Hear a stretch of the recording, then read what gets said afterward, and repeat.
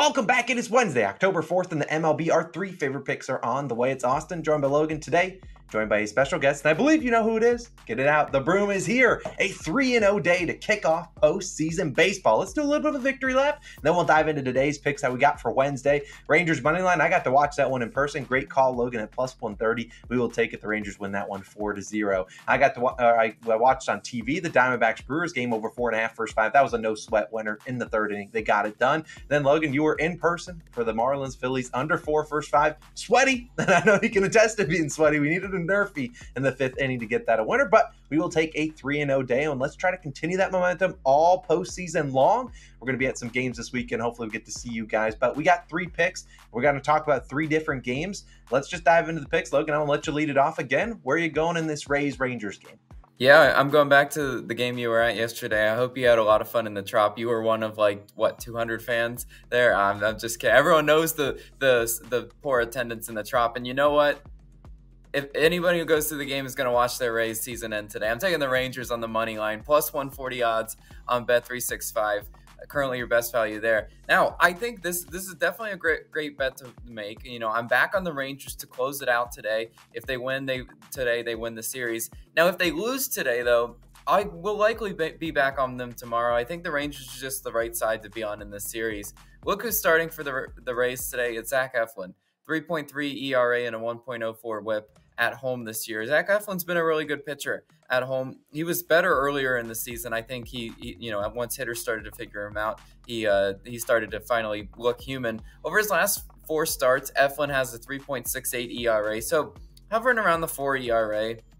That's exactly what probably what I expect from from him today. But he faces a really tough Rangers lineup. The Rangers third best in batting average and third best in OPS versus righties this, this season. There's a reason why the Texas Rangers have have the record they do. It's not really their pitching; it's been their offense. And I think once again they can get uh, to Zach Eflin today.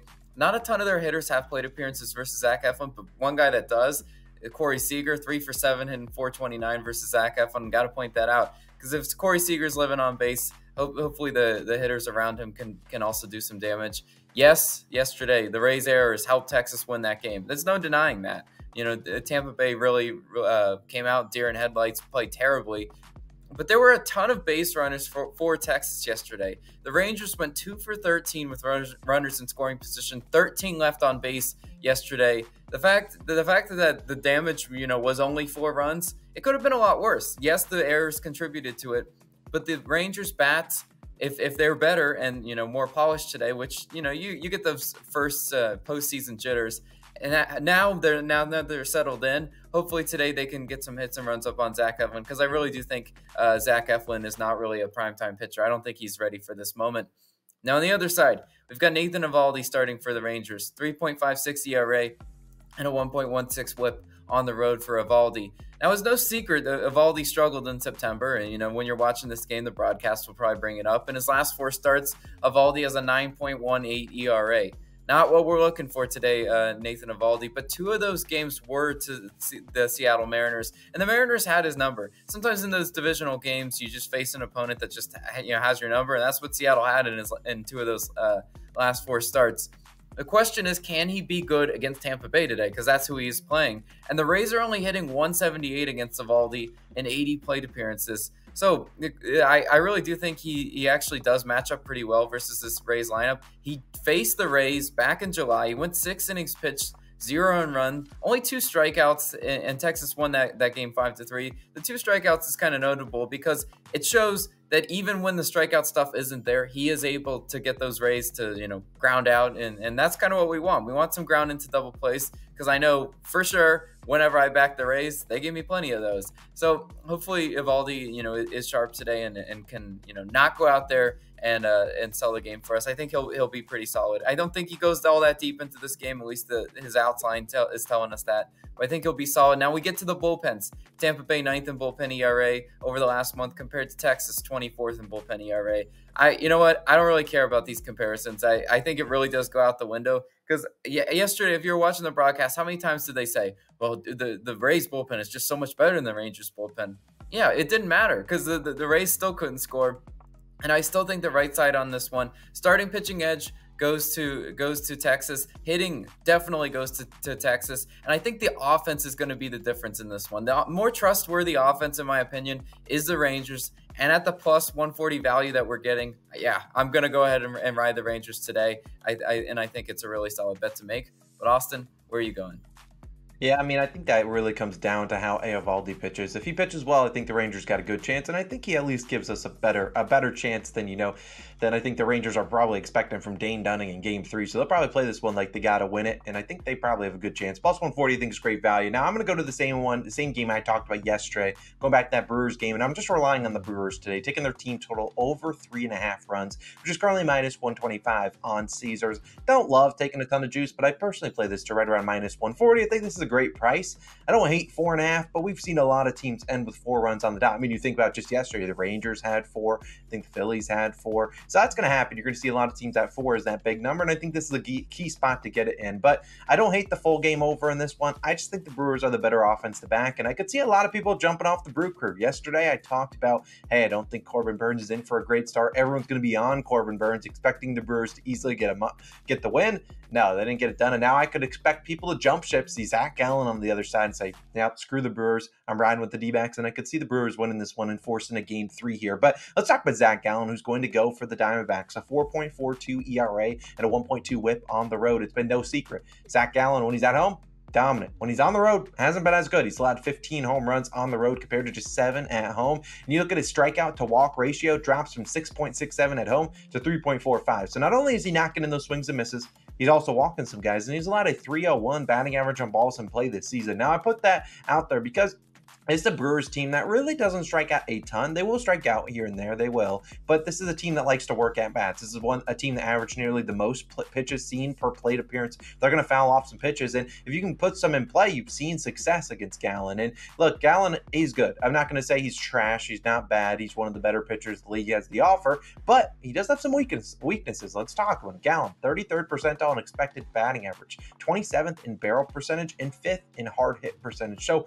he gives up hard contact contact. And if he's not getting the swings and misses, like I don't expect him to get today, I think the Brewers are going to be able to do some damage, whether that's via some home runs, whether it's via some doubles into the gap, maybe even a triple. This is a team in the Brewers that can be aggressive on the base base paths, does have guys that can steal, and guys that can, you know, maybe stretch a double into a triple. Guys that have that speed, whereas you see guys just hold up at second. Look, this is a Brewers team backs against the wall they need to win today. They uh, have no other excuse. So they're going to be trying to manufacture some runs, whether that's trying to bunt a guy into scoring position. Either way, they're going to be trying to score those runs because they can't afford to lose this game. So they're going to be trying pulling out all the stops to get those runs, and I think they're going to have a good chance to get it done. And we've seen Gallen two starts versus the Milwaukee Brewers this year, and he's cooked them. Let's talk about it. April 10th, way, way long ago, Seven innings pitched, zero earned runs, 11 Ks. They saw him about two months later on June 21st. Seven innings pitched, only one earned run, but only four Ks. You saw those uh, Ks drop from 11 down to four. Started to see his pitches a little bit better, just couldn't get those balls in play. I think today they get him in play, and I think they're going to have some good success against Gallen.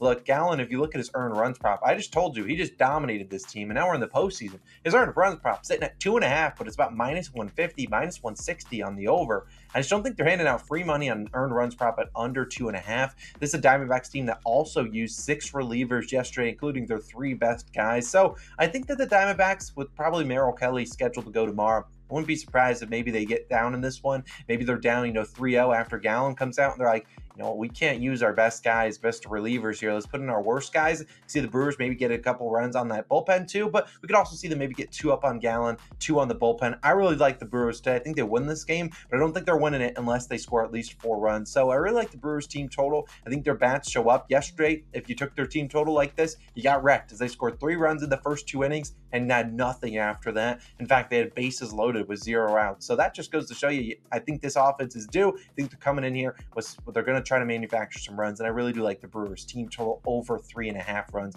as my favorite pick of the day. Now, for our third and final pick, we're going to go to the Mets, or not the Mets. The Mets are no nowhere near the postseason. We're going to Marlins in Phillies game, and we're going to talk about this one. Logan and I are going to tackle it together. I'll talk about one half. I'll talk about the second half. We're taking the over four and a half runs in the first five innings. Now, right now, you're seeing a bunch of different books with differing value. You should, if you are on any book, please get plus value. I don't see this line being at you know minus value unless you're on FanDuel. Almost every book is at plus value. But let's talk about the over and why we're taking it because yesterday, if you recall, top of the show, we talked about the under, where we took yesterday. Today, I think the over is the better spot to be on. And I'll talk about Aaron Nola. Logan will talk about the Marlins pitcher. Let's talk about Aaron Nola, though. He's going to start for the Phillies, 4.46 ERA and 1.15 whip. His three starts versus Miami this year, 4 4 and 4 earned runs, allowing five home runs total, at least one home run allowed in in each start. I think he allowed one, three, and then one home run. So look, Nola's been better at home. No way around that. He's been better at home. He's not been good on the road. However, two of those three starts against Miami did come at home. So they've had his number. And this is a Marlins team, just like the Brewers we talked about. Backs against the wall. They got to manufacture some offense.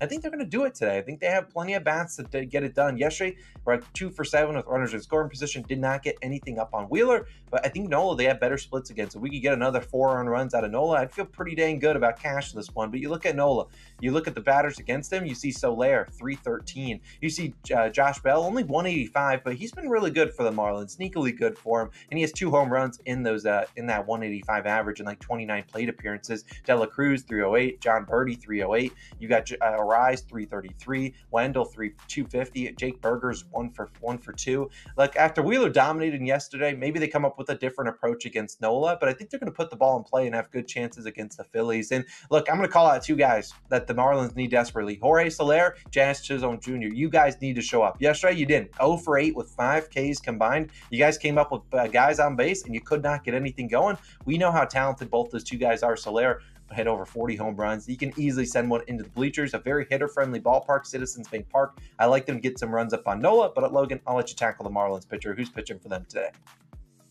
Yeah, it's going to be Braxton Garrett. He, he's starting for the Marlins today. 2.85 ERA and a 1.04 whip on the road for Braxton Garrett. Those are good numbers, but we got to talk about his matchup today because he has a terrible matchup against the Phillies. Phillies have a 353 batting average and a 374 expected batting average in 73 plate appearances against Braxton Garrett. The fact that they've seen him that many times and they have a, almost a 400 expected batting average, yeah, we got to take our chances there. You know, if if the lights are are pretty bright in, in this game for Braxton Garrett, wouldn't surprise me one bit. In two starts against Philly, he gave up three earned runs and and five innings pitched in both those games. So that's that's going to help our, our total, our first five total a lot. If, if he can, you know, go par for the course and, and what he was doing in the regular season. And the fact yesterday that the Phillies were able to hit Jesus Luzardo means they can real do real damage against lefties. I was obviously at that game and I was like I was kind of sitting there chewing my nails. I'm like, damn, they weren't supposed to hit Luzardo like this. I was like, ah, the lefties were even hitting Luzardo, and I was like, uh oh. And and so with that being said, I I, I definitely think you know uh, Braxton Garrett could definitely be be in for some damage at home. The Phillies seventh in runs ninth in hits. This is a top 10 offense at home. You don't really want to mess with them, especially during the playoff time. Citizens Bank Park is one of the coolest atmospheres, uh, you know, in, in postseason baseball for sure. And Philly is hitting 262 against lefties at home this season. We know we know several of these hitters in the Phillies lineup see left-handed pitching really well, and at home this is this is where they thrive. Righties tend to do well against Braxton Garrett, then tend to do better uh, than lefties. Uh, righties are hitting 261 uh, opponent's batting average against Braxton Garrett. So I'm looking at guys like Trea Turner and and Bohm and Realmuto to do a lot of damage today. We saw Turner, you know, obviously have a multi-hit game yesterday. We saw Bohm get the the clutch RBIs when when, when needed, uh, and then we saw Realmuto still get some hits. These are all guys that, that I'm expecting to do damage. And as long as the lefties in the in the at bats, you know, the Harpers and and Stotts, they're still on base there, there should be a lot of run opportunities in this first five inning. As Austin mentioned, Aaron Nola, for whatever reason this year, he's just not that guy. And, and he can go in and, and change the narrative in the postseason. That's definitely possible. The, the Marlins bats could be poverty, but I don't think they are going to be. Their season's on the line. Like this is the do or die game. If they reach uh, they'll, they'll be stealing, and you know definitely they want to get some runs. And yesterday's game, there could have easily been a lot more runs in the first five innings. We started the way the Phillies game started. They had runners on second and third. I think uh, either zero or one outs, and they, they didn't they didn't score anything out of that. It, it ended up in a nerfy nation uh, in that one. So there there should be a lot of run opportunities early in this game, and there's a reason why the total, even though they went under yesterday, the total went up to like eight eight and a half. There, there's going to be a lot of runs and hopefully they come in the first five innings for us. Yeah, yeah, Logan, I 100% agree. Hopefully, we can get two or three runs on each starting pitcher, and boom, that's a winner right there. And plus money, plus 114 on DraftKings, we'll take it. It was about minus 110 on FanDuel. Like I said, if you can get plus value, definitely go for it. Value could change throughout the day. But those are three favorite picks of the day. Let's bring out the broom once again. We'll be back again tomorrow with some more picks. We'll have some. Uh, we'll have our Thursday night football video live later on today, and then our second channel's live on the cha- on the screen if you want to go check that out. Austin Logan signing out. Broom signing out. We'll see you guys back in tomorrow, hopefully with the brooms out. We'll see you then. Peace.